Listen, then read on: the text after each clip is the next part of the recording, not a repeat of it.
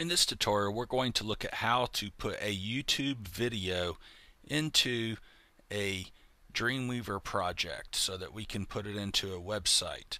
So what we're going to do first off is we're going to go to a YouTube channel. Uh, this is my channel here and I'm going to look at my videos and I'm going to choose one of the videos here. I'm going to choose this one. It was a recent trip to California and I made a video of it. Close that. And let's now go to the embed tag. You'll see over here to the right hand side, you'll see the URL and embed. So we're going to get the object tag. We're going to copy that. And then what we're going to do is we're going to go to our Dreamweaver page. So here in Dreamweaver we see the design view, but and we're going to select this particular cell right here. Then what we're going to do is we're going to go to the split view.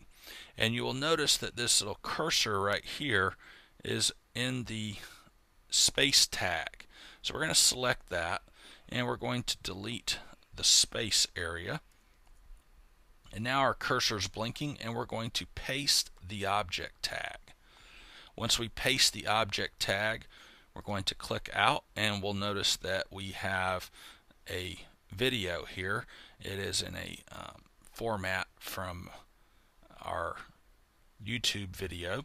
And we're going to go out and we're going to test this. So let's preview this in, well, let's look at it in Firefox.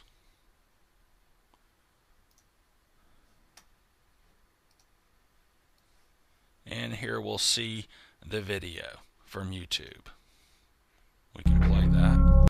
And there it plays right there in our web page. So we don't have to make a link to the YouTube video. We can play it directly here on our website as you see in this particular example.